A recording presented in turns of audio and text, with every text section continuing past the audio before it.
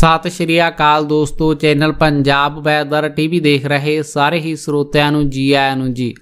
ਇਸ ਵੇਲੇ ਦੀ ਵੱਡੀ ਖਬਰ ਨਿਕਲ ਕੇ ਸਾਹਮਣੇ ਆਈ ਹੈ ਹੁਣੇ-ਹੁਣੇ ਪੰਜ ਬੱਚਿਆਂ ਦੀ ਹੋਈ ਇਕੱਠਿਆਂ ਇਸ ਤਰ੍ਹਾਂ ਮੌਤ, ਸਾਰੇ ਪਿੰਡ ਵਿੱਚ ਪਿਆ ਮਾਤਮ।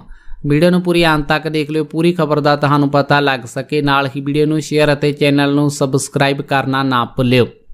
ਜੀ ਹਾਂ ਦੋਸਤੋ, ਹੁਣ ਪੰਜ ਬੱਚਿਆਂ ਦੀ ਇਕੱਠਿਆਂ ਦੀ ਹੋਈ ਮੌਤ ਦੇ ਕਾਰਨ ਸਾਰੇ ਪਿੰਡ ਵਿੱਚ ਸੋਗ ਦੀ ਲਹਿਰ ਫੈਲ ਗਈ। ਆ ਪ੍ਰਾਪਤ ਜਾਣਕਾਰੀ ਦੇ ਅਨੁਸਾਰ ਇਹ ਘਟਨਾ ਰਾਜਸਥਾਨ ਦੇ ਚਿਤੌੜਗੜ੍ਹ ਜ਼ਿਲ੍ਹੇ ਦੇ ਕਸਬਾ ਮੰਗਲਵਾੜ ਤੋਂ ਸਾਹਮਣੇ ਆਈ ਹੈ, ਜਿੱਥੇ ਪੰਜ ਬੱਚਿਆਂ ਦੀ ਤਲਾਬ ਦੇ ਵਿੱਚ ਨਹਾਉਂਦੇ ਸਮੇਂ ਮੌਤ ਹੋ ਗਈ। ਪ੍ਰਾਪਤ ਜਾਣਕਾਰੀ ਦੇ ਅਨੁਸਾਰ ਕੱਲ ਸਵੇਰੇ ਇਹ ਹਾਦਸਾ ਉਸ ਸਮੇਂ ਵਾਪਰਿਆ।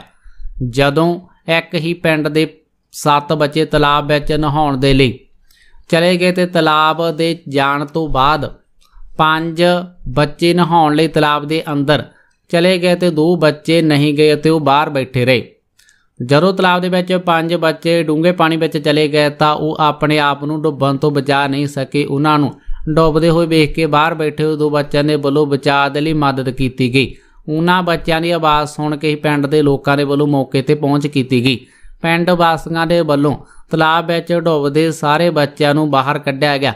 ਉਸ ਤੋਂ ਬਾਅਦ ਸਾਰੇ ਬੱਚਿਆਂ ਨੂੰ ਤੁਰੰਤ ਸਰਕਾਰੀ ਹਸਪਤਾਲ ਲਿਜਾਇਆ ਗਿਆ, ਜਿੱਥੇ ਡਾਕਟਰਾਂ ਦੇ ਵੱਲੋਂ ਸਾਰੇ ਬੱਚਿਆਂ ਨੂੰ ਮ੍ਰਿਤਕ ਘੋਸ਼ਿਤ ਕਰ ਦਿੱਤਾ ਗਿਆ।